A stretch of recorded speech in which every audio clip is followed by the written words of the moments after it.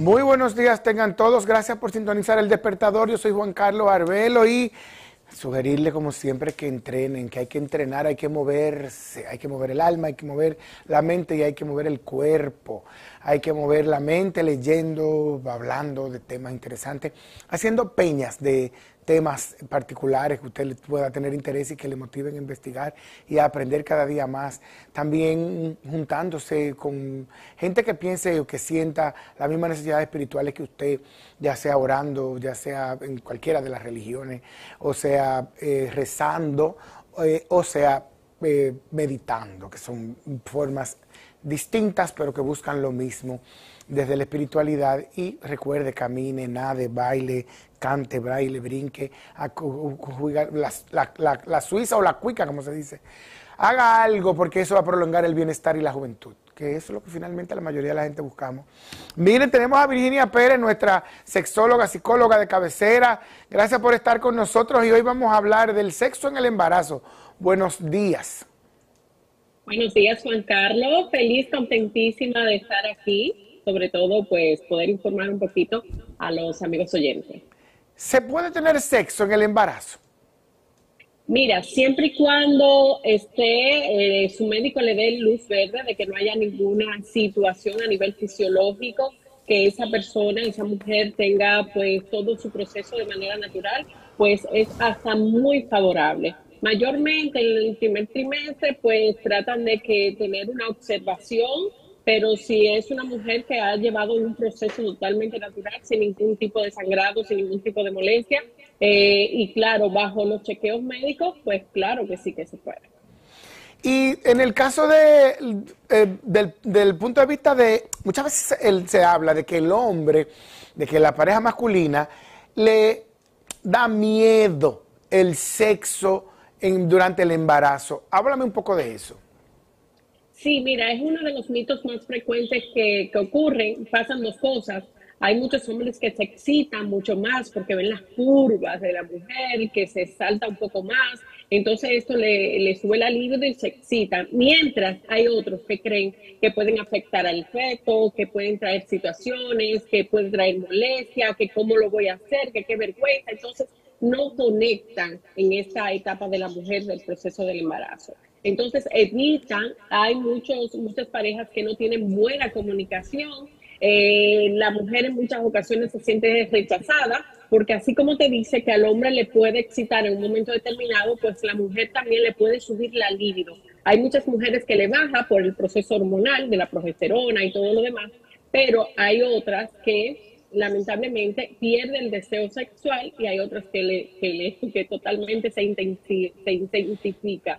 Entonces, cuando no hay una buena comunicación sexual dentro de la relación de pareja, la mujer que tiene ese libido alto y el hombre que rechaza pensando que le puede hacer daño al bebé, pues la mujer se siente rechazada, obviamente pasa por un proceso hormonal donde ella dice, bueno, yo, yo sé lo que pasa, estoy gorda, estoy fea, y hasta hace un rechazo del embarazo, o sea, no se siente cómoda. Cuando hay una buena comunicación, muchas veces eh, esto, todo esto se evita de que el hombre dice, mira, tengo miedo, dice, no, pero vamos a buscar posiciones donde tú te sientas cómoda. Sí, y a veces, muchas veces, la mujer no desea un contacto sexual, lo que desea es besos, cariños, abrazos, ser añoñada en esta etapa. Y puede tener el añoñamiento, va a llamar para utilizar el mismo término, puede tener connotaciones sexuales, o sea, puede suplir el añoñamiento una necesidad sexual, porque yo lo veo muy distante el uno del otro, o sea, eh, una cosa es el, quizás el añoñamiento puede ser como el proceso, como el preámbulo, pero ya sexo como sexo, ¿puede una cosa sustituir la otra? Mira, eh, eso va a depender de la dinámica de la pareja y qué yo espero de mi pareja, qué yo ando buscando en una relación. Porque como te dije, hay muchas embarazadas que se activan mucho sexualmente, que desean esa penetración, que desean ese contacto con su pareja, mientras que otras simplemente necesitan sentirse acariciadas, deseadas, o simplemente estar ahí, tener una persona presente, de que eh, me sienta linda, de que estoy pasando por este proceso y por eso no me vas a rechazar. Eso va a depender también de la autoestima de la mujer, va a depender mucho de, de cómo ellos como pareja se hayan tratado y qué tanto hayan deseado esa etapa que, en qué proceso, porque por ejemplo, si es una inseminación, si han intentado tantas veces, entonces quieren hacer un exceso de cuidado para que no vaya a pasar ningún inconveniente, ellos manejar culpa si pasa algún procedimiento, pero la sexualidad en esta etapa es fundamental para el desarrollo de toda pareja, porque eso hace una conexión. Sin embargo, si hay un buen contacto, una buena relación sexual, pues la cerviz en la parte de la mujer se relaja y puede prepararse para un para un buen parto. Y déjame decirte que estadísticamente está demostrado que si tú pasas un proceso de embarazo de manera natural, pues si tú tienes relaciones hasta un día antes o el mismo día del parto, del parto natural, obviamente todos estos músculos, en especial la cervix, se va a abrir un poquito más y va a estar, ese cuello uterino va a estar mucho más preparado, mucho más relajado para tener un parto más factible. Y lo que he visto a quienes he visto en labor de parto eh, es algo muy traumático. Sin embargo, yo tengo una concepción del sexo un poco más lúdica, más placentera.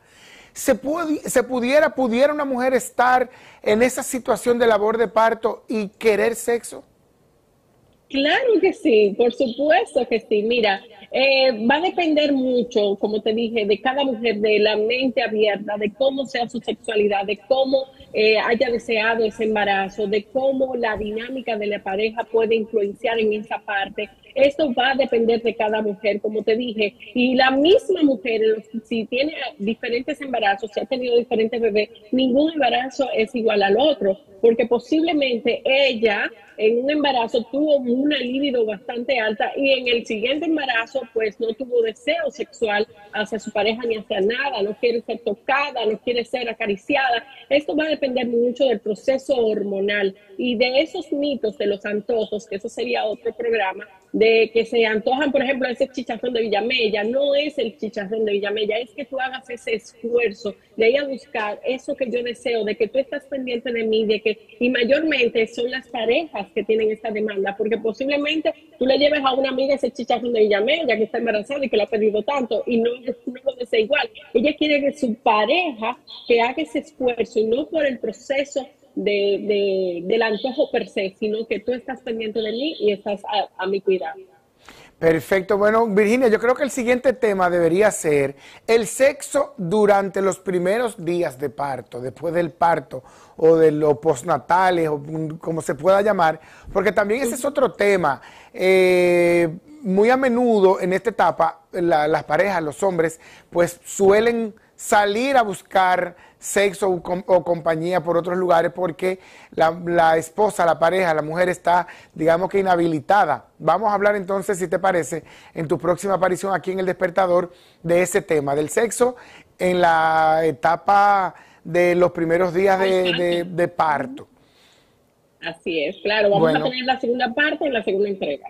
Perfecto, pues muchas gracias Virginia por traernos toda esta información de que no descuidemos las relaciones sexuales o las relaciones sexuales o el sexo en la relación de pareja porque haya estado de buena esperanza para ambos. Así es que ahí están los contactos de Virginia Pérez, psicóloga, sexóloga, está el Instagram y está el ex. Así es que gracias Virginia por traernos esta información. Vamos a comerciales. En los comerciales, recuerden que los comerciales también son información que usted necesita y después yo vengo a hablarle del espectáculo y entonces vamos a hablar también sobre eh, la, ay, ¿cómo que se llama?